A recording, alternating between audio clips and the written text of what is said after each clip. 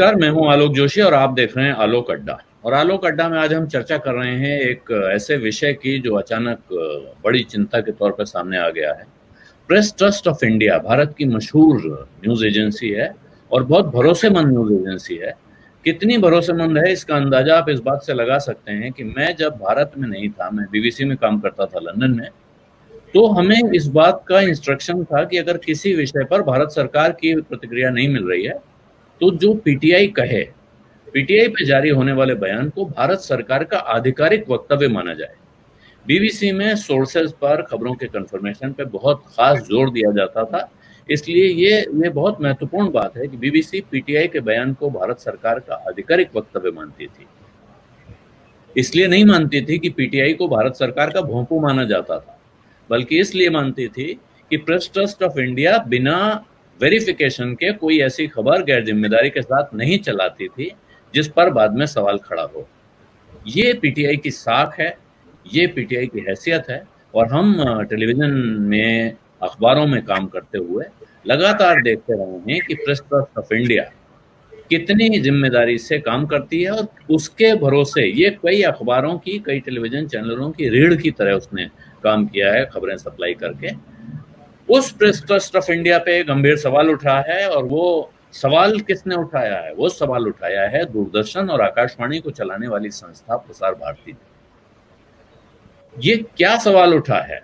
क्यों उठा है? और उस सवाल से क्या फ़र्क पड़ता है? और हमें उस सवाल में क्या पढ़ना चाहिए? इस पर आज हम बात करेंगे, लेकिन उससे पहले मैं आपसे आग्रह करूँगा कि अगर अभी तक आपने मेरा YouTube channel one Alok Joshi subscribe नहीं किया है तो सब्सक्राइब का बटन दबा दें।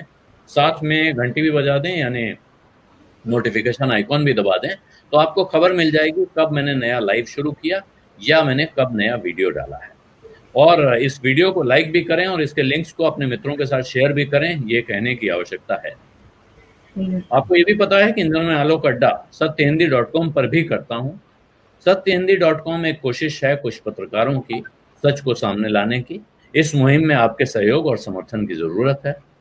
सच का साथ दीजिए, सच सच का साथ इसकी कैसे दे सकते हैं आप?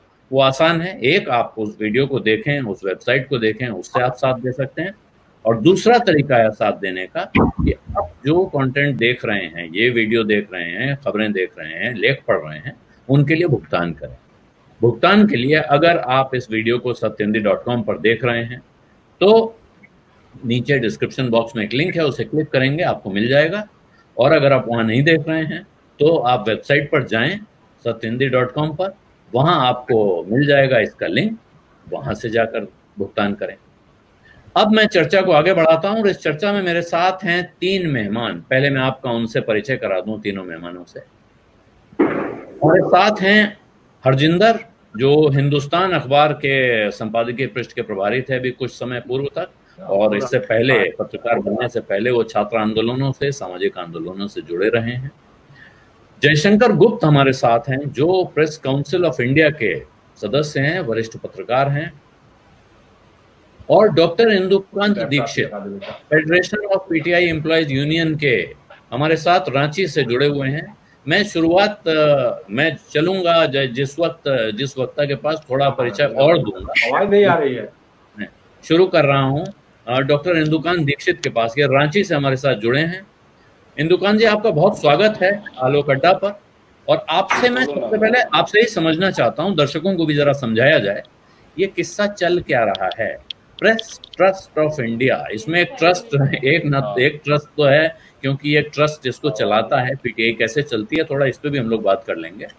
और दूसरा ट्रस्ट होता है भरोसा जिसकी मैंने बात आज की तारीख में प्रसार भारती को क्या ऐसा कष्ट है कि वो पीटीआई 1956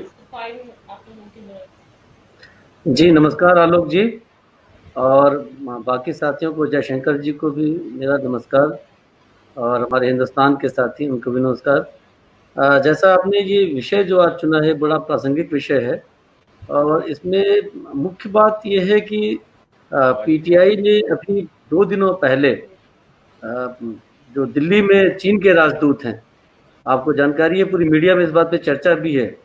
आ, उनका इंटरव्यू किया और वो स्टोरी पीटीआई से चलाई गई। और उसके क्विक सक्सेशन में जस्ट नेक्स्ट डे बीजिंग में हमारे करस्पॉन्डेंट है के जे वर्मा जी। उन्होंने इंटरव्यू किया वहाँ पे भारत के राजदूत का और वो स्टोरी चलाई गई एक दिन पहले। कल स्टोरी चलाई गई परसों उसके ट्वीट चलाए गए थे। जी। और इन्हीं दोनों स्टोरीज को मेनली लेकर के ये जो चर्चा अभी माहौल गर्म है पूरे मीडिया में पीटीआई को लेकर के और सरकार और प्रसार भारती से पीटीआई के रिश्तों को लेकर के ये पूरा मुद्दा इसी के इर्द गिर्द मुख्य रूप से अभी तात्कालिक रूप से जुड़ा है। लेकिन मैं एक चीज़ इसमें बैकग्राउंड में आपको बताना चाहूँगा कि पीटीआई चूँकि नेशनल न्यूज़ एजेंसी है और ये एक कंपनी थी ब्रिटिशर्स की बनाई हुई जो आज़ादी के बाद बहुत कम लोगों को जानकारी हमारे मीडिया के फ़ील्ड के लोगों को भी कि उन्नीस अड़तालीस में इसको इसका भारतीयकरण उस समय के जो हमारे होम मिनिस्टर थे, डिप्टी प्राइम मिनिस्टर थे, सरदार वल्लभ भाई पटेल ने किया था। और उन्होंने जो अभी हमारे इस पीटीआई का जो ट्रस्ट है, इसमें जिन लोगों को ये सौंपा, क्योंकि जब ये ब्रिटिशर्स की कंपनी थी तो उस समय it was owned by Britishers. और उसमें ये निष्पक्ष और न्यूट्रल होने के इसके दावे में उतनी ताकत नहीं थी, क्योंकि ब्रिटिशर्स का पैसा इसमें था।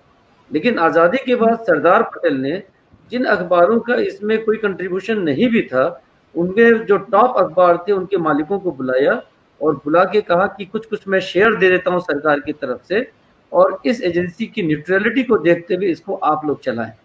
तो एक बड़ी महत्वपूर्ण चीज़ है कि जो आजकल भी लोग जानते हैं कि हमारे बोर्ड में पंद्रह लोग टोटल हैं जो सबसे अधिक बड़े शेयर होल्डर्स हैं तो उसमें तेरह अखबार हैं।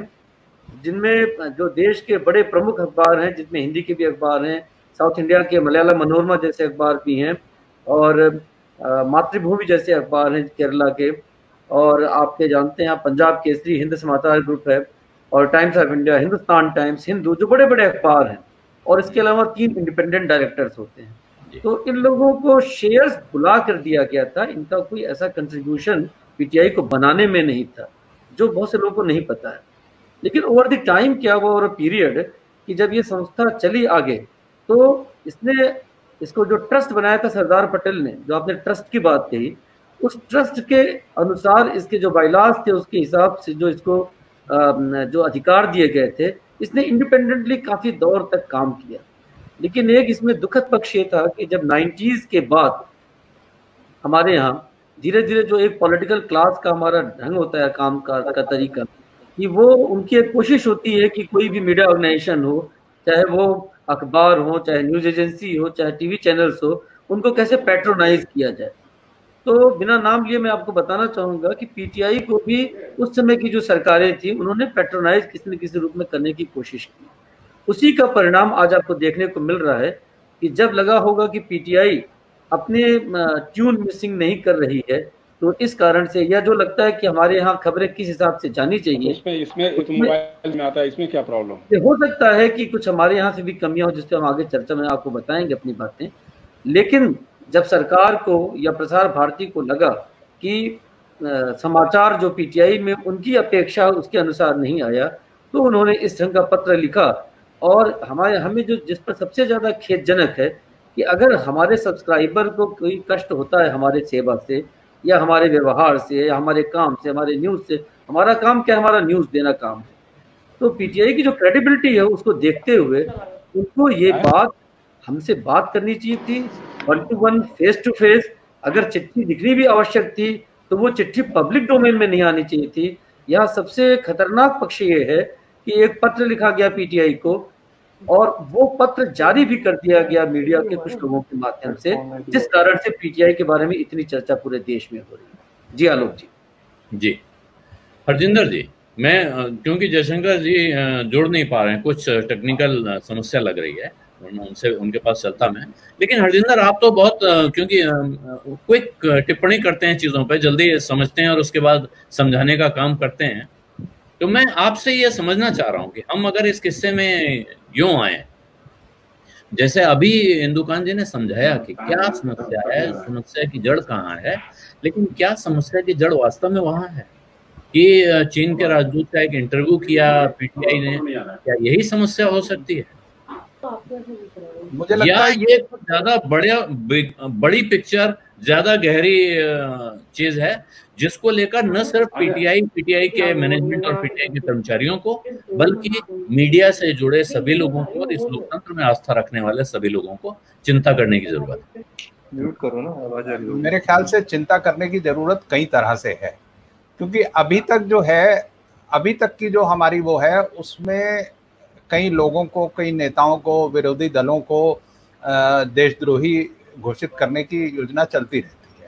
वो प्रक्रिया चलती रहती है। लेकिन पहली बार ऐसा हुआ है किसी पूरे मीडिया ऑर्गेनाइजेशन को और वो भी ऐसा मीडिया ऑर्गेनाइजेशन संदेह नहीं है जिसकी, जिसकी अपनी एक प्रतिष्ठा है। अब बहुत सारी आपत्तियाँ हो सकती हैं। पीटीआई के कामकाज को बहुत से लोग मानते हैं कि उस तरह से प्रोफेशनल नहीं है जैसे दुनिया की तमाम एजेंसियाँ हैं।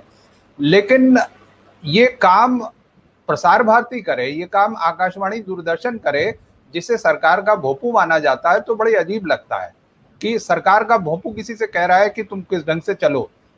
इसका मतलब ये नहीं है ये है कि प्रसार भारती ये नहीं कह रहा है। इसका मतलब ये सरकार से कहलवाया जा रहा है। क्योंकि प्रसार भारती या दूरदर्शन और आकाशवाणी सीधे सूचना प्रसारण मंत्रालय से चलते हैं। तो सूचना प्रसारण मंत्री, मंत्रालय पीटीआई से कह रहा है कि भैया नहीं तो ये हमारा जो है नौ करोड़ रुपए का बिज़नेस हम तुम्हें देते हैं, हम बंद कर देंगे। और ये ठीक है कि किसी भी ऑर्गेनाइजेशन को ये सुविधा होनी चाहिए कि वो किसी एजेंसी की सेवाएँ ले सकता है, रद्द कर सकता है, वो है। लेकिन इसका धमकी के रूप में इस्तेमाल करना, और जैसा कि इंदुकान जी ने कहा कि आपने ना सिर्फ़ पत्र भेजा, बल्कि उसको पब्लिक डोमेन में ले आए। इससे पहले कि पत्र वहाँ पहुँचता, लोगों को पता चल गया कि ये धमकी दी गई है। तो ये जो धमकी का तत्व है, ये बहुत खतरनाक है, और बता रहा है कि हम मीडिया को जो है किस तरफ़ हाँकने की कोशिश हो रही है? जी। अच्छा तो ये आपका कहना है कि ये धमकी का तत्व ये बता रहा है कि मीडिया को हाँकने की कोशिश हो रही है। एक और तथ्य, और मैं वापस उस पर इंदुकान जी के पास चलना चाहता हूँ, जब तक जयशंकर जी जुड़े हैं उससे पहले। लेकिन वो तथ्य तथ्य है, इसलिए उस पर बात करना चाहता हूँ कि नौ करोड़ रुपए का ज़िक्र अभी आपने किया। और ये प्रसार भारती की तरफ़ से भी कहा गया है कि हम करोड़ों रुपया देते हैं। और पीटीआई अगर नहीं सुधरता है तो हम अपने इस रिश्ते पर पुनर्विचार करेंगे। ये जो नौ करोड़ का आंकड़ा है, इंदुकान जी, क्योंकि इंदुकान जी के बारे में ये भी बताऊँ कि ये पीटीआई की जो सारी यूनियंस हैं, पीटीआई बहुत बड़ा संगठन है, उसके देश भर की जितनी कर्मचारी संगठन है, उनका एक फेडरेशन है। तो federation of PTI employees unions के नेशनल काउंसिल के सदस्य हैं दुकान जी। तो ये नौ करोड़ रुपए मिल रहे हैं क्या पीटीआई को प्रसार भारती की तरफ़ से, या इसमें कुछ फेरबदल ऑलरेडी हो चुका है? नहीं, बिल्कुल आपने ठीक कहा और इससे पता चलता है कि आपको जानकारी है पूरी चीज़ों की। नौ करोड़ का फिगर तय हुआ था, लेकिन आपको बताऊँ कि ये पिछले कई वर्षों से इस पे एक डिस्प्यूट क्रिएट कर, करे प्रसार भारती से पीटीआई को एक्चुअल में तीन करोड़ के आसपास ही मिल रहा है। और जिस समय ये स्लैश डाउन किया गया था कि नहीं इतना सब्सक्रिप्शन नहीं दिया जा सकता है। एग्रीमेंट हुआ था नौ करोड़ का। और नौ करोड़ कुछ लाख रुपए का था लगभग साढ़े नौ करोड़ का। लेकिन उसको स्लैश डाउन करके तीन करोड़ पीटीआई का और एक करोड़ साठ लाख के आसपास यूएनआई का दोनों का एक साथ। क्योंकि दोनों का एग्रीमेंट एक साथ का था। तो ऑलरेडी वो हमें तीन करोड़ के आसपास ही दे रहे हैं पिछले कई वर्षों से। इसलिए नौ करोड़ का फिगर भी ठीक नहीं है और शायद यही कारण है कि दूरदर्शन ने या प्रसार भारती ने अपने पत्र में करोड़ों का ज़िक्र किया है। न तो वो तीन करोड़ का न तो नौ करोड़ का क्योंकि वो डिस्प्यूटेड फिगर है उस पर भी बातचीत चल रही पिछले कई वर्षों से। जी। जी। आप कह रहे हैं वो डिस्प्यूटेड फिगर है उस पर बातचीत चल रही है। मैं ये नहीं समझ पा रहा हूँ कि ये जयशंकर जी को आवाज़ जा रही है या नहीं जा रही है क्योंकि उनकी आवाज़ मुझे नहीं आ रही है। मुझे लगता है कुछ उसमें बाधा है। तो मैं फिर एक बार अब हरजिंदर देखिए ये मैं आलोक बता दूँ कि एक्चुअल में जो अभी मिल रहा है पैसा पिछले कई वर्षों से वो हाँ। तीन करोड़ के आसपास मिल रहा है। जी। वो तीन करोड़ के आसपास ही मिल रहा है। मुझे ये जो जानकारी थी इस विषय में जो मुझे जानकारी मिली वो ये है कि ये नौ करोड़ को जब जब ये सरकार आई है जिस वक्त एनडीए की सरकार कही है या नरेंद्र मोदी की सरकार कही है तो इसने उसको कम करके नौ करोड़ को तीन करोड़ कर दिया है जबकि इससे पहले वो नौ करोड़ मिला करता था। जो बात आप कह रहे हैं इसमें दम है। हालाँकि ये कम करने की बात जो थी इसका पत्राचार और इसकी शुरुआत हो गई थी यूपीए गवर्नमेंट में ही। अभी हो गई दो जी 2011 के आसपास। लेकिन वो जो एक प्रभाव होता है मीडिया का और पत्रकारों का संपादक का उसके माध्यम से बात करके सरकार के टॉप चैनल से उसको किसी प्रकार ये किन प्रकार उसको कंटिन्यू किया गया था। लेकिन बातचीत कम करने की 2011-12 के आसपास ही हो गई थी। वो उसको लागू किया इस सरकार ने। जी। हम्म। अच्छा तो इस समय जो इस वक्त जो व्यवस्था चल रही है, यानी जो विवाद चल रहा है, इस विवाद को हम ये नहीं कह सकते हैं कि ये पैसा उस विवाद की वजह से कम हुआ है। ये पैसा जो आम तौर पर, और ये हरजिंदर मैं आपकी तरफ़ आऊँगा, क्योंकि ये हम सब जगह, हम लोगों ने अलग अलग संगठनों में काम किया, अखबारों में, मीडिया हाउसेज में, वहाँ सब जगह ये कसरत तो बहुत समय से चल ही रही है कि कैसे खर्चा कम किया जाए। और उस खर्चा कम करने के अभियान में मुझे याद है, कि एक वक्त था जब हमारे नेटवर्क में, जिसमें मैं नौकरी करता था, वहाँ एक साथ तमाम एजेंसीज की सर्विस बंद कर दी गई थी। न सिर्फ़ पीटीआई की, बल्कि एएनआई की रॉयटर्स की, सबकी सर्विस बंद की गई थी। और ये वही दौर है जब टेलीविज़न में ग्राउंड रिपोर्टिंग छोड़कर एजेंसी से आने वाली खबरें छोड़कर, किसी एक खबर को पकड़कर और चार, पाँच, छह लोगों को बैठाकर डिबेट करने की परंपरा या किसी एक आदमी के खड़े होने पर खड़े होकर ज़ोर ज़ोर से बोलने की परंपरा शुरू हुई थी। तो क्या ये कॉस्ट कटिंग मेजर के तौर पे इसको देखा जा सकता है? अगर हम बहुत बेनोवलेंट होना चाहें और ये कहना चाहें कि नहीं नहीं प्रसार भारती धमकाने, डराने की कोशिश नहीं कर रही है। दरअसल वो अपने खर्चों पे लगाम कसने की कोशिश कर रही है। इसलिए ऐसा हो रहा है। नहीं देखिए जो जहाँ तक ये नौ करोड़ का तीन करोड़ करना है ये कास्ट कटिंग वाली बात हो सकती है। लेकिन अब जो इस समय चिट्ठी जारी की गई है कि भाई तुम्हारी जो है हम सर्विसेज़ बंद कर देंगे और तुम देशद्रोही हो तुम्हारी जो समाचार जिस तरह से दे रहे हो वो देशद्रोहियों वाले हैं तो इसका मतलब तो सीधा सीधा यह है कि ये धमकाने की कोशिश है। कॉस्ट कटिंग अलग मामला है।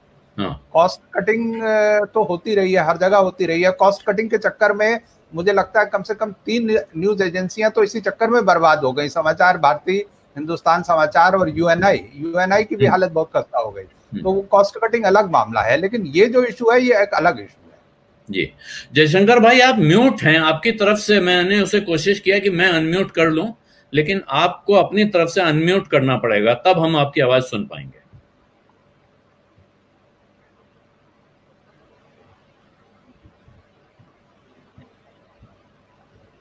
वो जब तक अनम्यूट करने का प्रयास कर रहे हैं देखिए हरजिंदर के साथ तो जयशंकर जी ने काम किया है इंडिया टुडे हिंदी में और मैं जयशंकर गुप्त को लंबे समय से पाठक के तौर पर जानता हूँ। यानी ये पत्रकार और मैं इनका लिखा पढ़ने वाला पाठक में बहुत समय रहा हूँ। रविवार रविवार नाम की एक पत्रिका जिसका नाम आज सिर्फ़ नाम है।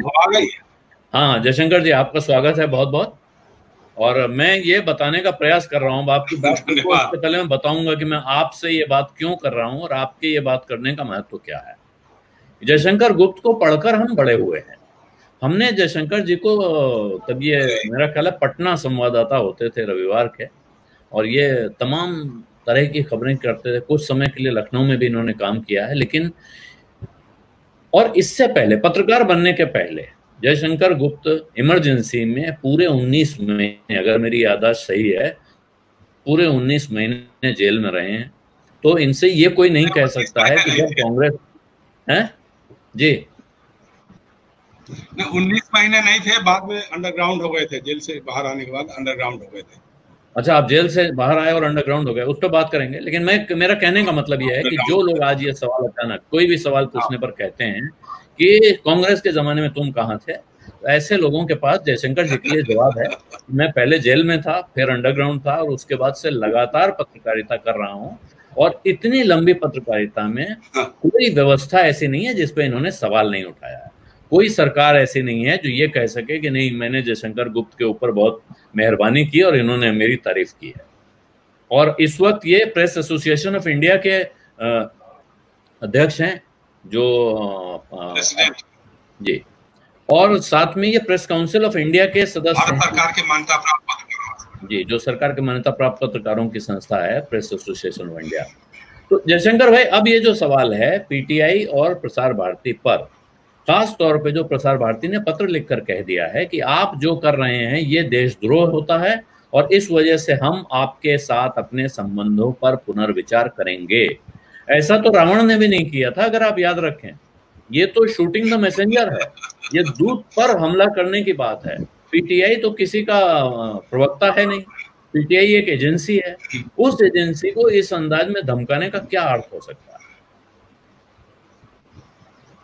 नहीं, आमतौर पे तो इसको सरकारी एजेंसी के रूप में माना जाता रहा है कि मतलब जो अधिकृत खबरें देती रही है पीटीआई इसके बारे में मशहूर रहा है कि गवर्नमेंट का जो माउथ पीस हो सकता है या गवर्नमेंट की जो खबरें होंगी, उसको ज़्यादा ये लोग प्रसारित करते रहे हैं। आमतौर पर मान्यता तो यही है। लेकिन देखिए, जब आईने में आपकी शक्ल बदसूरत नज़र आने लग जाती है तो आप अपनी सूरत को सुधारने के बजाय, उसमें कुछ ठीक ठाक करने के बजाय आईने पर ही सवाल खड़ा करना शुरू कर देते हैं। और सबसे बड़ी बात, अब तो सरकार को तय कर देना चाहिए, या प्रसार भारती को तय कर देना चाहिए, कि भाई, अब यही इंटरव्यू छपेंगे, और यही खबरें छपेंगी, इसके अलावा कुछ और नहीं छपेगा। एक आप लिस्ट बना के दे दिया कीजिए। वैसे हो ही रहा है, तमाम टीवी चैनलों पे आज एक पार्टी के मुख्यालय से तय होता है कि आज इस विषय पे आपको चर्चा करानी है और इस चर्चा में फला फला लोगों को बुलाना है और फला फला लोगों को कतई नहीं बुलाना है। मैं आपसे बताना चाहता हूँ लोग इमरजेंसी में भी इस तरह की कोशिश हुई थी। एक समय तो था उन्नीस सौ इकहत्तर के बाद का, जब इंदिरा गांधी के प्रशस्ति भाव में पूरे देश की मीडिया लगी हुई थी। लेकिन खास तौर से बहत्तर, तिहत्तर या चौहत्तर के बाद मीडिया का भी रुझान थोड़ा सा जनता के मानसिकता को देखते, मानस को देखते हुए थोड़ा बदलने लगा था। और इंदिरा गांधी जी के लिए भी वो लोग थोड़ा क्रिटिकल भी होने लगे थे। खास तौर से जब जेपी आंदोलन चला, बिहार का आंदोलन चला, गुजरात में आंदोलन चला, और उसके बाद जब हाईकोर्ट का जो फैसला आया, इलाहाबाद हाईकोर्ट का, जिसमें जस्टिस जगमोहन लाल सिन्हा ने इंदिरा जी के चुनाव को रद्द घोषित कर दिया था, अवैध घोषित कर दिया था तो सारे अखबारों ने पीटीआई एजेंसी ने भी खबर चलाई थी और यूएनआई ने भी खबर चलाई थी। उस पर संजय गांधी को तकलीफ़ थी कि ये खबर को ट्विस्ट करके क्यों नहीं दिखाया? इस खबर को इस रूप में क्यों पेश कर दिया? फिर सारे अखबारों ने उसमें एडिटोरियल लिखा था। उस समय तय हुआ था कि जो सूचना के सूत्र हैं जो प्रवाह है उसको कंट्रोल कैसे किया जाएगा? तब यह तय हुआ था कि पीटीआई यूएनआई समाचार भारती और हिंदुस्तान समाचार।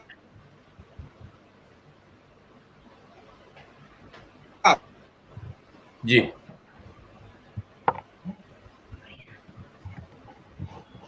कुछ आवाज़ आने में दिक्कत हो रही है, जयशंकर भाई।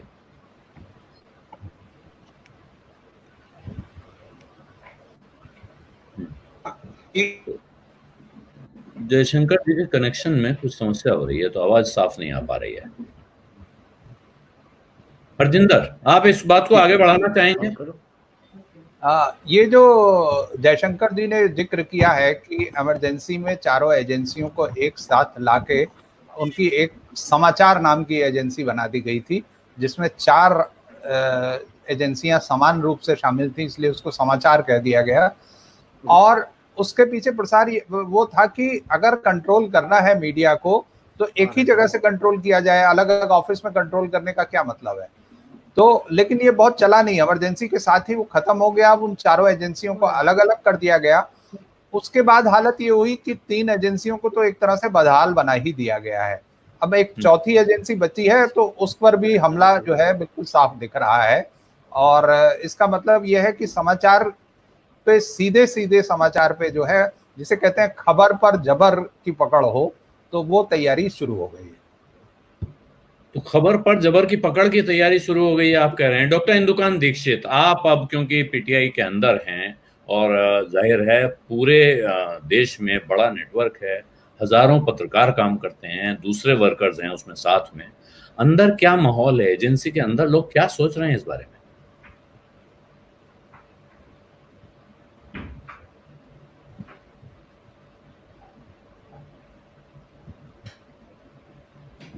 मुझे लगता है कि हिंदुकान दीक्षित जी की भी बात नहीं आ पा रही है। कुछ कनेक्शन में गंभीर समस्या हालाँकि रांची तो बहुत अच्छे कनेक्शन जुड़ते थे।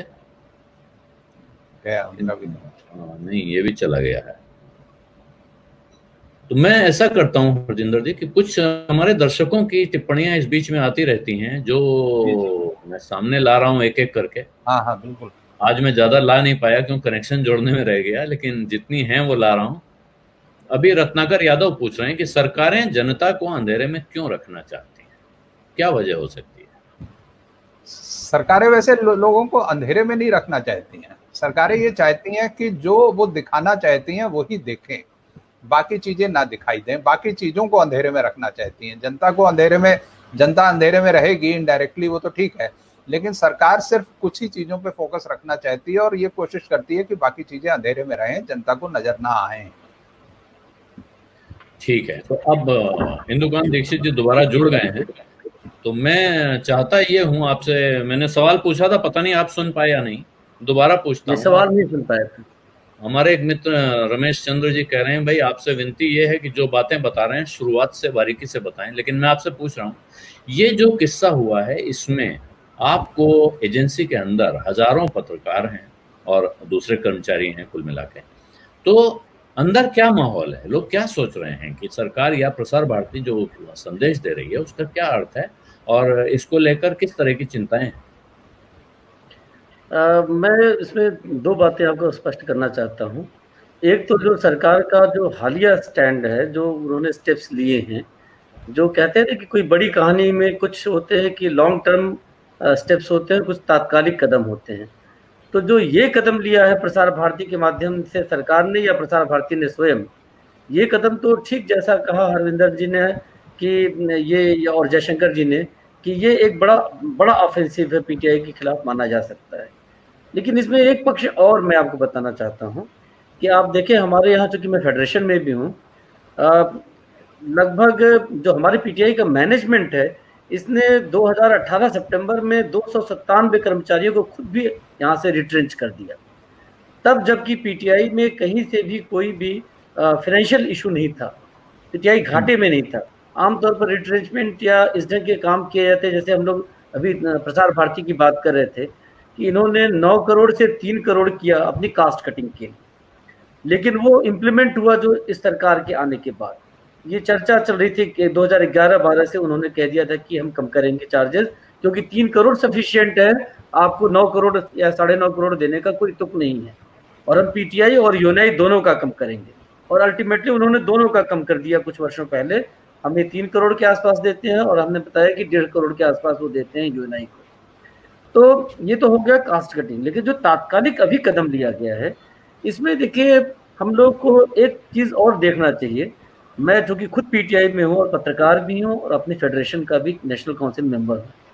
तो मैं ये मानता हूँ कि सरकार ने चाइना के जो एम्बेसडर का इंटरव्यू या जो भारतीय एम्बेसडर का जो चाइना में इंटरव्यू हुआ, इसके बाद जो ये स्टैंड शायद प्रसार भारती के माध्यम से लिया है तो जिसको एक हम मीडिया पे अटैक भी मान रहे हैं, इसमें एक पक्ष और है, जो अभी बहुत साफ़ नहीं है।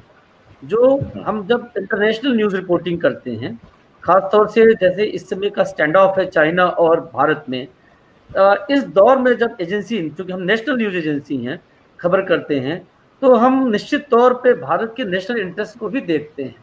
और उसके लिए हम क्या करते हैं to be on safer side कि हम इस जंग की जब चीज़ें तय की जाती हैं तो उसमें हम कोशिश करते हैं कि जो अगर डिस्प्यूटेड कुछ चीज़ें आई तो उसमें सरकार का भी पक्ष जान लेते हैं कि ये चाइनीज़ एम्बेसडर ने हमें बताया है इंटरव्यू में तो इस पर आपका क्या मत है और उसको भी साथ में ले लेते हैं स्टोरी में। हम्म। क्योंकि इस समय बहुत सेंसिटिव इशू है और इस समय सीधे सीधे भारत और चाइना आमने सामने हैं।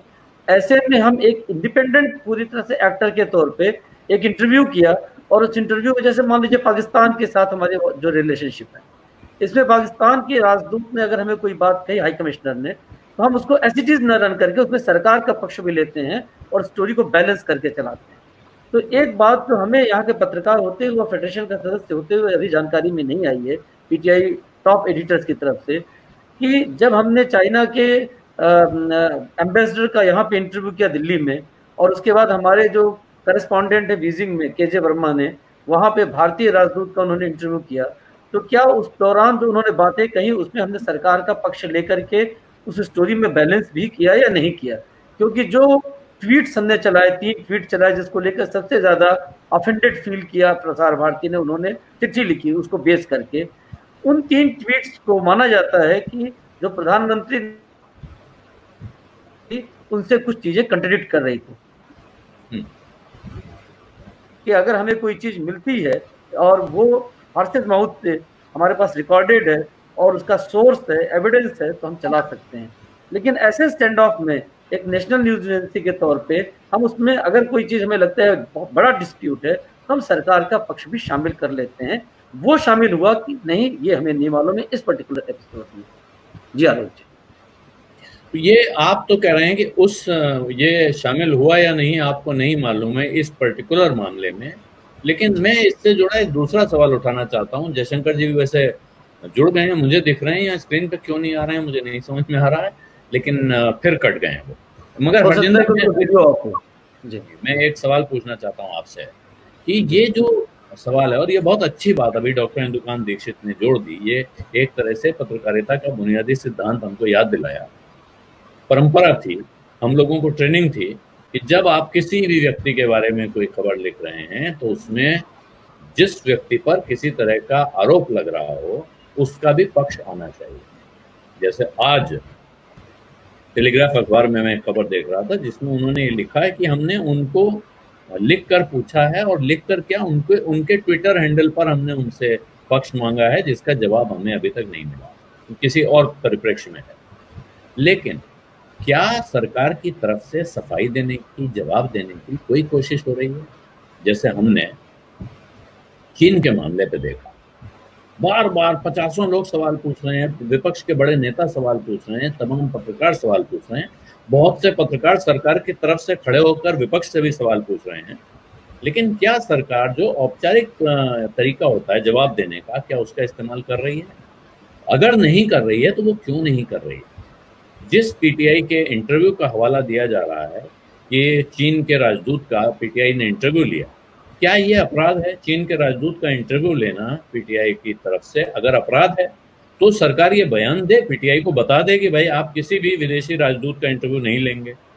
या इस परिस्थिति में इस वक्त हमारा चीन के साथ झगड़ा चल रहा है तो एक सर्कुलर इशू करेगी। कोई भी टेलीविज़न चैनल कोई भी एजेंसी ये इंटरव्यू नहीं लेगी। वरना इस पर अपनी सफ़ाई दें कि भाई हमारी तरफ़ से ये पक्ष है, आप ये बताएँ, क्या ये हुआ? और अगर ये नहीं हो रहा है इसके बजाय ये हो रहा है कि प्रसार भारती ऐसे मौके पर प्रसार भारती की ये ज़िम्मेदारी कब से हो गई है कि वो तय करे कि कौन देशद्रोही है और कौन देशभक्त है? प्रसार भारती का काम ये कब से हो गया? बिल्कुल आलोक जी हाँ। हाँ अच्छा मैं ये कह रहा हूँ कि चीन के राजदूत का आपने इंटरव्यू किया तो उसमें आप भारत सरकार का पक्ष ले सकते हैं, समझ में आई बात। लेकिन भारत के जो बीजिंग में राजदूत हैं, उनका इंटरव्यू लिया, उसमें दूसरा पक्ष क्या है? उसे तो हम मानेंगे कि वो सरकार की बात है। राजदूत जो कह रहा है, वो सरकार का प्रतिनिधि है, वो सरकार की बात है। उसमें दूसरा पक्ष तो चीन का है, फिर हम या तो चीन का इंटरव्यू लें। तो ये हर मामले में हो नहीं सकता है। और जो आप कह रहे हैं कि अगर ऐसी कोई नीति बना रहे हैं तो साफ़ साफ़ निर्देश जारी करें कि ऐसा करना है आपको। मैं मानता हूँ कि भारत की एजेंसियों में प्रोफेशनलिज्म वैसे ही बहुत कम है और जो बचा खुचा है उसको भी आप खत्म कर देना चाहते हैं। बाकी जो पीटीआई जो प्रसार भारती का वो है, प्रसार भारती का जो पिछले हमारे अनुभव रहे हैं कि वो एक ब्यूरोक्रेटिक ऑर्गेनाइजेशन की तरह से काम करता है, जो सरकार कहती है, वो बोलता है। वो वही पीटी, वही दूरदर्शन, वही आकाशवाणी बोलते हैं लेकिन अब जो है उसका एक नया रूप सामने आ रहा है वो ब्यूरोक्रेटिक ऑर्गेनाइजेशन की तरह नहीं बल्कि एक कार्यकर्ता संगठन की तरह से बोल रहा है। क्योंकि हम्म, हम्म। इससे पहले कभी पीटीआई इसने प्रसार भारती ने किसी को देशद्रोही या देश प्रेमी नहीं कहा था। ये पहली बार कहा है। तो वो एक आ, सरकारी संगठन के बजाय एक कार्यकर्ता संगठन की तरह से काम कर रहा है। दिक्कत यहाँ पे ज़्यादा है। इसके साथ एक इससे जुड़ा एक दूसरा सवाल भी है, और हरजिंदर, वो आपसे मैं, थोड़ा व्यक्तिगत, आपने उनके लिए कुछ काम भी किया है, इसलिए पूछ रहा हूँ। ए नाम की एक एजेंसी है, जिसको हमने पिछले कुछ वर्षों में फलते फूलते देखा है। एशियन न्यूज़ इंटरनेशनल उसका नाम था। अब ए एन आई सब जानते हैं, और वो टेलीविज़न एजेंसी है, मुख्य रूप से वीडियो एजेंसी है, वीडियो कवरेज करती है, लोग उस पर वीडियो चलाते हैं। लेकिन पिछले दिनों वो ट्विटर पर या दूसरी जगह वो लिखी हुई खबरें भी चलाने लगी है। एक वेबसाइट भी उसने खोली है। और एएनआई को खास तौर पे इस वक्त एक बहुत पिछली सरकार में भी मैं नहीं कह रहा हूँ कि ये इस सरकार के आने के बाद हुआ है। पिछली सरकारों ने भी एएनआई को एक बहुत प्रमुख एजेंसी के तौर पे ट्रीट करना शुरू कर दिया था। और अब भी वो हैसियत बाकी है। अभी गृह मंत्री को इंटरव्यू देना था तो उन्होंने एएनआई को इंटरव्यू दिया। मानते हैं कि यहाँ इंटरव्यू दे दो सब जगह चल जाएगा। तो ये तो हुआ एजेंसी पक्ष जिसमें आप कह सकते हैं कि प्रसार भारती जो पैसा पीटीआई पे खर्च कर रहा था हो सकता है अब वो पैसा वो एएनआई पे खर्च करने लगे। हाँ, जयशंकर भाई आप फिर अनम्यूट हैं म्यूट हैं तो उसको अनम्यूट आपको ही करना पड़ेगा। हाँ तो पीटीआई और एएनआई के बीच खर्चे का हिसाब हो सकता है कि एएनआई वीडियो देती है इसलिए एक टेलीविज़न चैनल के तौर पे हमको ज़्यादा अच्छा लगता है। लेकिन आकाशवाणी क्योंकि प्रसार भारती तो आकाशवाणी और दूरदर्शन दोनों को चलाता है। उसके लिए तो पीटीआई का महत्व तो कभी भी मेरी समझ से पीटीआई का महत्व तो किसी भी आ, समाचार चैनल के लिए या अखबार के लिए कम होना संभव नहीं था। फिर क्या ये पैसा यहाँ का वहाँ जाए ये एक एंगल है। और दूसरा एएनआई का एक और पिछले दिनों काफ़ी चर्चा में रहा साल दो साल से ये बात चर्चा में थी। उत्तर प्रदेश सरकार ने एक बड़ा एग्रीमेंट किया उनके साथ। डेढ़ करोड़ रुपए का एग्रीमेंट था जिसमें उत्तर प्रदेश सरकार के सारे आयोजनों को कवर करने की ज़िम्मेदारी पीटीआई को दी गई। इसके लिए उत्तर प्रदेश सरकार उनको डेढ़ करोड़ रुपया देती है। एएनआई को। एएनआई को। हाँ माफ़ कीजिए अगर मैं पीटीआई बोल गया तो मैं गलती से बोल गया। एएनआई को। ये तो एक तरह से पीआर एजेंसी का काम भी हो गया। आपने पेड मीडिया कह सकते हैं, इसे नहीं भी कह सकते हैं, क्योंकि आप कहेंगे कि हम कहीं चला तो नहीं रहे हम तो सरकार के लिए कवर करते हैं वीडियो उनको दे देते हैं तो वीडियोग्राफर का काम कर रहे हैं। लेकिन आप वीडियोग्राफर हैं, आप पेड मीडिया हैं, आप एजेंसी हैं, और एक तरफ़ एएनआई दूसरी तरफ़ पीटीआई को रख के देखिए तो क्या किसी तरह का शक्ति संतुलन या कठपुतली बनाने की तैयारी भी दिखती है। देखिए एक तो मैं एक फैक्ट करेक्ट कर दूँ कि एएनआई काफ़ी समय से वायर्ड एजेंसी थी। जब मैं हम्म। वहाँ काम करता था तब भी उसकी वायर्ड एजेंसी चलती थी और हिंदुस्तान टाइम्स और ट्रिब्यून जैसे कुछ अखबार थे जो उसकी एजेंसी उसकी खबरें लेते थे। आमतौर पे वो खबरें विदेश से होती थी कुछ देशी भी होती थी कुछ रिपोर्टर उनकी भेजते थे। ये ठीक है कि खबरों का क्वांटम वो नहीं होता था जो पीटीआई या यूएनआई का होता था लेकिन कुछ लोग यूज़ करते थे धीरे धीरे कॉस्ट कटिंग में सब उसको बाहर करते गए। लेकिन अब वो फिर से एक बार इसमें बहुत तेज़ी से आई है और सरकारी प्रश्रय की बात उसको लेके काफ़ी चलती रही है। एक दौर में मेरे ख्याल से सबसे ज़्यादा उस दौर में थी जब गुजराल प्रधानमंत्री थे तो ऐसा लगता था कि सरकार का वो है। सरकार के लिए सुविधा ये है कि खासतौर से जब से वीडियो आया है कब से टीवी आया है सरकार के लिए सुविधा यह है कि पीटीआई को अगर आपने कोई वीडियो दे दिया, कोई इंटरव्यू दे दिया, या किसी मंत्री के या प्रधानमंत्री के दौरे में आप एएनआई को साथ में ले गए तो वो हर चैनल में दिख जाएगा। तो उस वजह से महत्व मिलता है। अब वो किस तरह से आगे बढ़ रही है, यूपी के साथ उसका क्या वो हुआ है, मैं मैं उसकी बहुत ज़्यादा डिटेल नहीं जानता हूँ। लेकिन ये बहुत साफ़ दिख रहा है कि यूएनआई को सॉरी एएनआई को बढ़ावा दिया जा रहा है। इसमें कोई दो राय नहीं है तो जयशंकर जी आप मुझे लगता है कि आप पक्के तौर पे जुड़ गए हैं।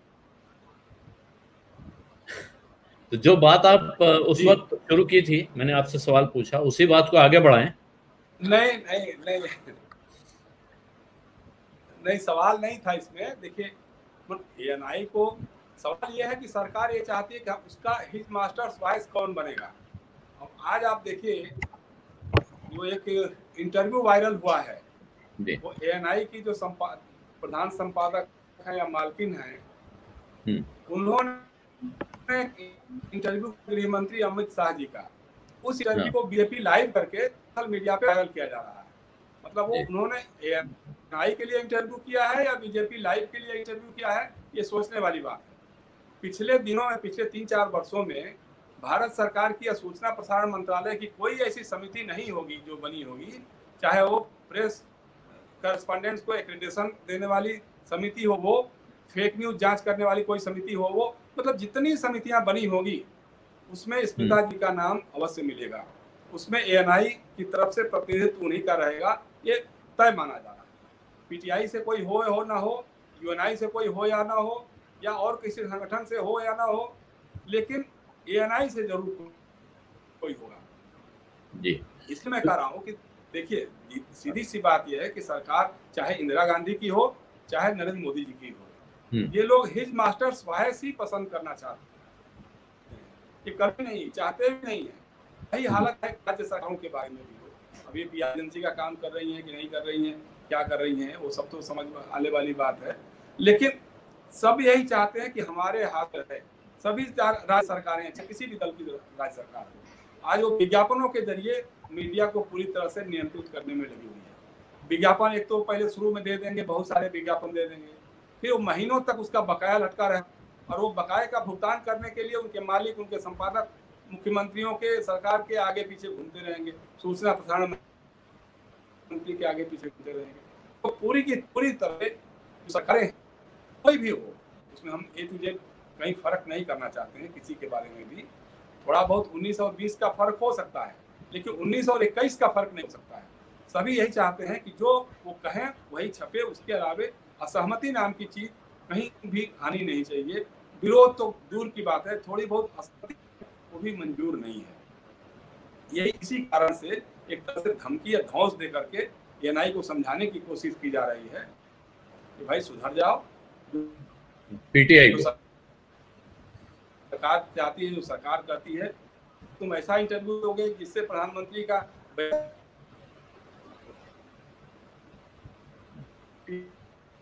हाँ तो मतलब वो कहने का है जो जयशंकर भाई कह रहे हैं कि जो पीटीआई को एक तरह से संदेश दिया जा रहा है।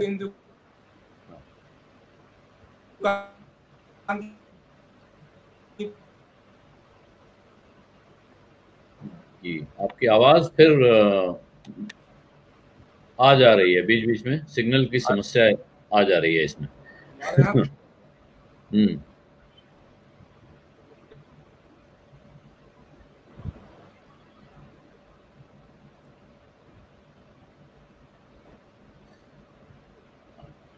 अब यह सवाल है जो अब जयशंकर जी फिर क्योंकि सिग्नल की समस्या आवाज़ नहीं आ रही है वो दिक्कत हो रही है उसमें। मेरा प्रश्न ये है ये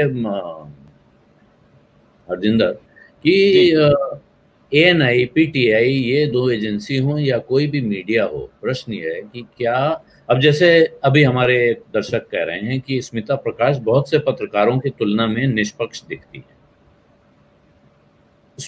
मैं अब यहाँ पे ये बात मैं खुद जोड़ूँगा उसके बाद मैं आपके पास आ रहा हूँ कि आप वो निष्पक्ष दिखती हैं का सवाल क्यों उठता है? मैंने तो अब मुझे लगभग तीस पैंतीस साल हो गया पत्रकारिता में। पीटीआई निष्पक्ष दिखती है या पीटीआई पक्षपात करती दिखती है या फॉर दैट मैटर यूएनआई या हिंदुस्तान समाचार भी पक्षपात करते हुए दिखते हैं, ये तो दर्शक को कभी दिख ही नहीं सकता है कि वो पक्षपात करते हैं या नहीं करते हैं। क्योंकि वो बी टू सी है, वो बी टू सी तो है नहीं बी टू बी है। वो बिज़नेस टू बिज़नेस काम है उनका। वो एजेंसी हैं, समाचार का संकलन करते हैं, अखबारों तक या टेलीविज़न चैनल तक पहुंचाते हैं।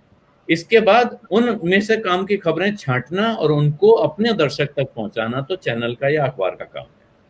कोई एजेंसी कैसे निष्पक्ष या पक्षपाती हो सकती है? क्या होना संभव है? आ, मुझे नहीं लगता कि इस तरह से पक्षपाती हम समझ सकते हैं कि कोई हमें निष्पक्ष लगता है कोई और खासतौर से एजेंसी किसी पत्रकार के बारे में कह सकते हैं। मैं जब लिखता हूँ मेरे बारे में कह सकते हैं कि ये मुझे पक्षपाती दिखते हैं या उस पक्ष को लेते हुए लिखते हैं, लेकिन एजेंसी जिसका काम सिर्फ़ न्यूज़ देना है, उसके बारे में पक्षपाती कहना या उसके किसी पत्रकार के बारे में पक्षपाती कहना थोड़ा मुश्किल है। ये ठीक है कि एजेंसीज का इस्तेमाल कई बार न्यूज़ प्लांट करने के लिए किया जाता है, लेकिन वो एक अलग मामला है। उसके अलावा अगर आप कह रहे हैं कि वो पक्षपाती दिखते हैं तो इसका मतलब आप एक पक्ष में खड़े हैं। तभी आपको ऐसा दिख रहा है अदरवाइज़ आम पाठक को कभी नहीं दिखेगा कि पीटीआई किस तरह से पक्षपाती है या दूसरा जो यूएनआई है वो किस तरह से पक्षपाती है, ये नहीं दिख सकता। तो मतलब आपके कहने का है और उसको मैं डॉक्टर इंदुकान दीक्षित आपके पास ही चलूँ, आपसे पूछता हूँ। आप भी, क्योंकि देखिए एक तरफ़ तो आप एजेंसी में काम करते हैं, एजेंसी की तरफ़ से आप न्यूज़ प्रोवाइडर हैं, हम लोगों के लिए तो हम आपके ग्राहक हैं, जब हम चैनल चलाते हैं या अखबार चलाते हैं। लेकिन दूसरी तरफ़ से आप न्यूज़ के कंज्यूमर भी हैं। तो ये जो पक्षपात की कथा है, क्या ये नई शुरू हुई है? इस सरकार में शुरू हो गई है? या ये हर सरकार में थी, जैसा कहा जा रहा है कि हर सरकार, जयशंकर जी ने कहा और जयशंकर जी इतने लंबे समय से इतनी अलग अलग तरह की सरकारों को, इतने अलग अलग तरह के नेताओं को कवर कर चुके हैं कि उनके अनुभव में सब शामिल है। हर सरकार, हर जगह बैठा हुआ इंसान जो कुर्सी पे बैठा होता है, वो हिज मास्टर्स वॉइस सुनना चाहता है। वो चाहता है कि मीडिया सिर्फ़ उसकी आवाज़ हो, उसमें किसी दूसरे की आवाज़ आने की, सुनाई पड़ने की गुंजाइश न रहे। क्या ये बात सही है? आपको जब आप कंज्यूमर के तौर पे देखते हैं, आपको कौन पक्षपाती लगता है और कौन निष्पक्ष लगता है? आलोक जी, आपने बहुत अच्छा स्वयं विषय वस्तु का रखा। हरजिंदर जी ने जो बात कही थी प्रसार भारती के बारे में, जो कि मैं थोड़ा देर से इस बात पे आया, उनकी बात के कहने के बाद तो एक चीज़ मैं जोड़ना चाहूँगा, देखिए हिज मास्टर्स वॉयस कहने की आदत कि दूरदर्शन की सरकारों ने ही आज़ादी की तो ध्यान होगा कि लगातार उस समय का विपक्ष भी इस बात का रोना रोता रहता था कि लगातार केवल प्रधानमंत्री और सरकार के अपने प्रचार तंत्र के तौर पर दूरदर्शन को और ऑल इंडिया रेडियो को इस्तेमाल किया जाता है, कभी हमारी बात नहीं सुनी जाती। उसमें जो नया एक, नया डेवलपमेंट हुआ, वो सबसे बड़ा डेवलपमेंट नया वो ये हुआ कि अब ये भी तय कर दिया इस बार प्रसार भारती ने कि डेट्रीमेंटल टू नेशनल इंटरेस्ट कौन काम कर रहा है। ये एक नई बात आई है। नहीं तो हिज मास्टर्स वायस का काम तो अभी की सरकार जो करवा रही है, they are, they have been singing to the tune of the government for long, so much, so so many years तो उसके लिए तो हम ये नहीं कह सकते हैं कि वो इसी सरकार ने उनको हिज मास्टर्स वायस कहने के लिए किया। दूसरा मैं एजेंसी में चुकी हूँ। मैं आपको बताऊँ आलोक जी कि मैं उन्नीस सौ छियानवे से हूँ एजेंसी में पीटीआई में ही। और मैंने इस पर स्टडीज़ भी किया है कई एजेंसीज के कामकाज पे। तो मैं उस लिहाज से बता सकता हूँ मैं गलत भी हो सकता हूँ लेकिन मेरा जो अनुभव है मैं आपको बताऊँ कि पीटीआई में मैं उन्नीस सौ छियानबे से खुद देख रहा हूँ कि जो भी सरकारें रही हैं उनको पता है कि सूचना का एक बड़ा तंत्र न्यूज़ का एक बड़ा तंत्र रेगुलेट किया जा सकता है एजेंसी को रेगुलेट कर कर या उस पर अपना प्रभाव डाल करके तो जो मैंने खुद देखा है पिछले लगभग 24 सालों में कि जो भी सरकारें रही हैं, उन्होंने चाहे अच्छे संबंध के माध्यम से, या कुछ रियायतें दे करके, या कोई बिल्डिंग दे करके, या फिर किसी ढंग के इनकम टैक्स की रियायतें दे करके, एजेंसी को अपने साथ करने की, हर एजेंसी को कोशिश की है। अब ये एजेंसी के पत्रकार पे होता है, या हमारे एडिटोरियल पॉलिसी पे, या हमारे टॉप मैनेजमेंट पे, एडिटर्स पे होता है कि वो क्या न्यूज़ को बेचकर सौदा करेगा या न्यूट्रलिटी और बैलेंस को अपने मेंटेन करेगा। मैं खुद जानता हूँ ऐसा पत्रकार अपने पीटीआई में कि किस तरह से कभी कभार मतलब जिसमें कोट करना उचित नहीं होगा, कि विपक्ष के नेता के और सरकार के भी खबरों को एजेंसी से प्लांट किया गया है। तो ये बहुत ही दुखद है। और पीटीआई में होने के नाते मैं ये मानता हूँ कि एजेंसी की खबरों में हमेशा अनबायस्ड और बैलेंस अप्रोच होना चाहिए। और आपको जानकर आश्चर्य होगा कि पीटीआई जैसी एजेंसी में और यूनाई जैसी एजेंसी को भी मैं जानता हूँ, बहुत करीब से एजेंसी पे स्टडीज़ करने के कारण और ए पी राइटर्स को भी हमने देखा है काम करते हुए, उनके काफ़ी टॉप लोगों से हमने इंटरेक्शन भी किया है कि वहाँ पे हमारे बोर्ड में हमारे मन के लोग हों, हमारी इच्छा के लोग हों, जो पॉलिसीज़ को वहाँ फ्रेम करते समय हमारी हिसाब से करवा सकें या न्यूज़ को भी गाइड कर सके हमारे हिसाब से, इसके लिए सरकारें बहुत चैतन्य रही हैं, बहुत एक्टिव रही हैं और उन्होंने अपने हिसाब से डायरेक्टर्स रखवाए हैं। उनका नाम लेना यह उचित नहीं होगा चूँकि वो बड़े बड़े अखबारों से लोग जुड़े हुए हैं। इंडिपेंडेंट डायरेक्टर्स को प्रभाव डालकर सरकारों ने आज से नहीं मैं मैंने इतिहास देखा है पीटीआई का और यूनाई का सत्तर के दशक से किया है। और रही बात पीटीआई से किसी ढंग की अगर सरकारों से तनातनी की तो सब मैं आपको बताऊँ 1956, 57, 58 में पीटीआई से और उस समय के प्रधानमंत्री नेहरू जी में इतना ज़्यादा तनातनी हो गई थी कि नेहरू जी ने एक बार कहा था कि ये तो पीटीआई की इतनी एरोगेंस हो गई कि हमारी बात ही नहीं सुनती है। तो उसके बाद उन्होंने यूनाई का जन्म जो है उन्नीस में, नेहरू जी ने यह कह के किया कि पीटीआई की मोनोपोली हमको तोड़नी है। ये सिचुएशन आज कोई नई नहीं है। जो सरकार को लगता है कि हमारी बात हमारे जैसा चाहते नहीं जा रहे तो वो इस ढंग के कदम लेते रहे लेकिन जब एक बार यूएनआई बन गई और एक स्वस्थ जो प्रतिद्वंदिता होती प्रोफेशनल उसके आधार पे। पीटीआई, यूएनआई जब दो मेन नेशनल न्यूज़ एजेंसीज हो गई तो काम चलता रहा। एक बात जो कहा था हरजिंदर जी ने, कि जब आपने चाइनीज़ एम्बेसडर का इंटरव्यू लिया दिल्ली में तो ये मैं मानता हूँ कि पक्ष लिया जाना चाहिए सरकार का भी, क्योंकि वो विदेश के, चीन के राजदूत हैं। क्या आवश्यकता थी? चीन में जो भारत के राजदूत हैं, उसके बारे में पक्ष की बात हमें उचित नहीं लगती है। मैं आपको बताऊँ कि मैंने जब किया तो हमारे अशोक टंडन जी जो आपके बाद में प्राइम मिनिस्टर वाजपेयी जी के वो सलाहकार भी बने थे प्रेस सलाहकार आजकल वो गडकरी जी के सलाहकार हैं। जी तो जब हम लोगों ने ज्वाइन किया था तो वो हमारे यहाँ डिप्लोमेटिक एडिटर हुआ करते थे पीटीआई तो उन्होंने जो हम लोगों को बातें बताई जो हम लोगों ने उनसे सीखा ये उन्नीस सौ सत्तानवे की बात बता रहा हूँ जब हमारी ट्रेनिंग वहाँ हो रही थी तो उन्होंने बताया और हम लोगों ने इसको फॉलो किया और हमने फॉलो करते हुए लोगों को देखा भी है। कि जब हमारे रिलेशन किसी देश के साथ तनावपूर्ण होते हैं या खराब होते हैं, उस दौरान अगर अपने देश के इंटरेस्ट से जुड़ी हुई कोई बड़ी खबर आती है, जिस खबर का कि पूरी पूरी दुनिया पे चूँकि एजेंसी से खबर जाती है तो हमारे ही, हमारे देश और विदेशों में मिला के लगभग 1200 सब्सक्राइबर्स हैं वेबसाइट्स अखबार और तमाम न्यूज़ चैनल्स तमाम सोशल मीडिया भी। तो उन पर बड़ा इम्पैक्ट पड़ता है। तो अगर हमें लगा कि हमारे ही राजदूत से चीन में बात करके, कुछ कंट्रोवर्शियल बड़ी चीज़ें आई हैं तो ये हमें सिखाया कि हमारी ट्रेनिंग में भी अगर ये गलत हुआ तो मैं नहीं कह सकता कि फिर अगर उसमें लगता है कि हमारे देश के इंटरेस्ट पे कहीं पे इस सेंसिटिव पोजीशन में या संवेदनशीलता में कुछ फ़र्क पड़ सकता है तो हम सरकार को भी पूछते हैं कि ऐसी बातें आई हैं, आपका कोई पक्ष हो तो। हम स्टोरी नहीं दबाते हैं, लेकिन हम उनका पक्ष भी लेते हैं कि ऐसी बातें आई हैं आपको अगर कुछ कहना है तो मैं वो भी अपनी स्टोरी में कैरी करूँगा। सो so दैट कि नेशनल इंटरेस्ट चूँकि नेशनल न्यूज़ एजेंसी है तो वो अटमोस्ट है। ये मैं एक पत्रकार के तौर भी एजेंसी के मानता हूँ। लेकिन हम अपने जो एथिक्स मैं आपको बताऊँ, मैंने एक खबर यहाँ पे किया था कोरोना पीरियड में तो यहाँ के हेल्थ मिनिस्टर का हमने इंटरव्यू किया। और मैंने स्टोरी दी और दो घंटे बाद हेल्थ मिनिस्टर का मेरे पास फ़ोन आया। आपको जान के आश्चर्य होगा कि देखिए, हमारे यहाँ भी कैसे शायद एथिकलिटीज में और न्यूट्रलिटी में कंप्रोमाइज कहीं ना कहीं हुआ होगा। ये बात अंदर की है, लेकिन ये खबर आपके यहाँ जो ये चर्चा हो रही है बहुत प्रासंगिक इसलिए मैं बता रहा हूँ। दिन में बारह बजे हमने खबर की, और उसमें हमारा जो मेन इंट्रो था क्योंकि यहाँ पे जो हेल्थ मिनिस्टर हैं, वो कांग्रेस कोटे से हैं। तो वो जो लाइन पॉलिटिकली उनको सूट नहीं करता है, उन्होंने कहा कि ये जो झारखंड में इसमें फैला हुआ है कोरोना, इसमें 85 to 90 percent it is because of Tablighi Jamaat. तो आप जानते हैं पॉलिटिकली ये एंगल कांग्रेस को या विपक्ष को मुख्य विपक्ष को हमारे सूट नहीं करता है। हम्म। बारह बजे गई हमारी स्टोरी रिलीज़ हुई पीटीआई में शाम को चार बजे।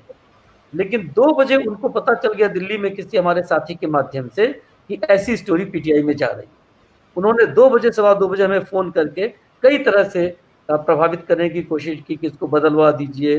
हमारी नौकरी का सवाल है हमारी मिनिस्ट्री का सवाल है। फिर जब हमने कहा कि हमारे यहाँ पीटीआई में स्टोरी अगर हम सही कर रहे हैं हमारे पास आपका इंटरव्यू रिकॉर्डेड है उसमें कोई बदलाव नहीं हो सकता है। आपको बोलने के पहले सोचना चाहिए। हाँ आपको कुछ और बोलना है तो हम एक अलग स्टोरी देंगे और हमारे एडिटर पे है कि वो दिल्ली से रिलीज़ करेंगे कि नहीं। लेकिन उन्होंने पूरा दबाव करने की कोशिश की और अंत तक उन्होंने कहा कि फिर हमारे रिलेशन ऐसे नहीं रहेंगे जब उनकी धमकी में मैं नहीं आया। लेकिन आप ये देखें कि मेरी स्टोरी रिलीज़ हुई दिल्ली से शाम को चार बजे। लेकिन हमारे दिल्ली ऑफ़िस के किसी व्यक्ति के माध्यम से या किसी सीनियर मीडिया पर्सन के माध्यम से उनको ये जानकारी होगी कि हमारी स्टोरी का इंट्रो क्या है।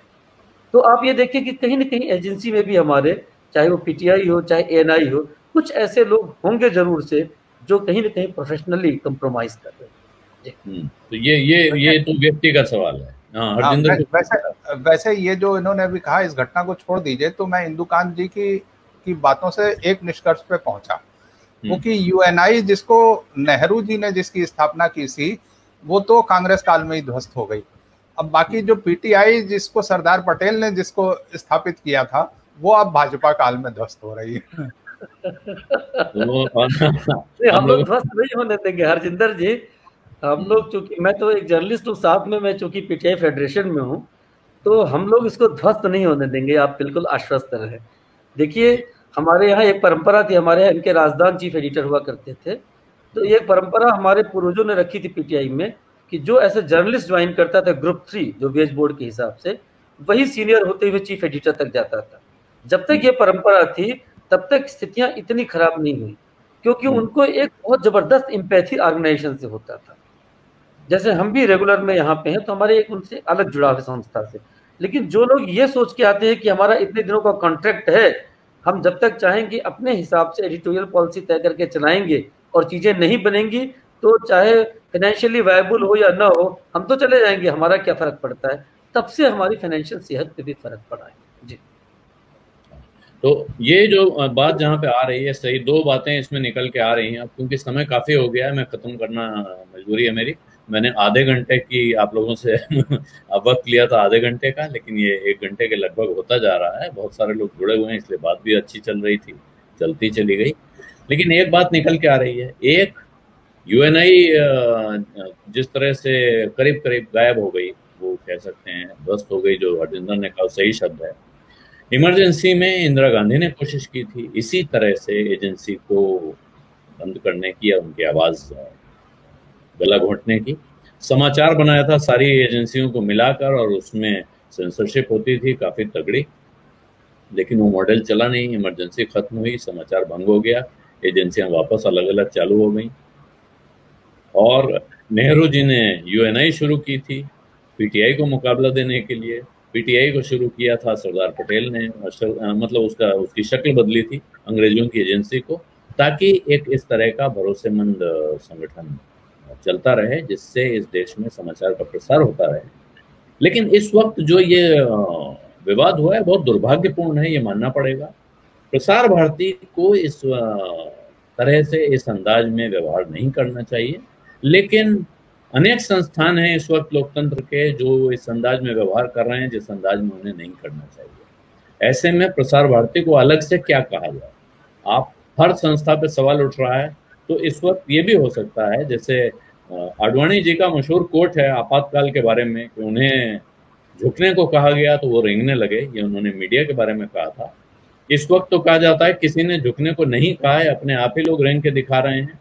ये मीडिया में नहीं हो रहा है, बहुत सारे संस्थानों में हो रहा है और उन सभी को रेंगने की लगता है कि रेंगना हमारा राष्ट्रीय चरित्र बन जाएगा। अगर आप चाहते हैं कि रेंगना हमारा राष्ट्रीय चरित्र न बने, हमारे संस्थान सुरक्षित रहें, हमारी आवाज़ सुरक्षित रहे तो आप सबसे आग्रह है कि इस वीडियो के लिंक अपने मित्रों, परिचितों के साथ शेयर करें। इस तरह के जो दूसरे माध्यम है, मैं नहीं कह रहा हूँ आप सिर्फ़ मेरा चैनल देखें, और दूसरे लोग इस तरह का चैनल चला रहे हैं, उनको देखें। और मेरा YouTube channel one Alok Joshi, अगर अभी तक आपने सब्सक्राइब नहीं किया है तो उसको सब्सक्राइब कर लें। मैं सत्य हिंदी डॉट कॉम के साथ नियमित रूप से वीडियो करता हूँ, उनके लिए लिखता भी हूँ, काम करता हूँ। सत्य हिंदी डॉट कॉम एक मुहिम है सच को सामने लाने की, उसके साथ सहयोग करें। इसी के साथ मैं इजाज़त चाहता हूँ। धन्यवाद। नमस्कार।